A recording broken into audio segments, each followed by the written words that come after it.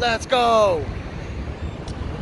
Only thing that's keeping your life average is average thinking or bad thinking. If you want to go that far, but we're on that level. We're here to make things better, change them for the better, get stronger, get smarter, be a better teacher, but more importantly, be a better student.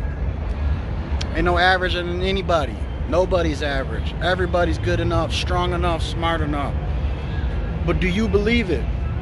You gotta believe in yourself. I believe in you. Love you guys. I'm out. Oh.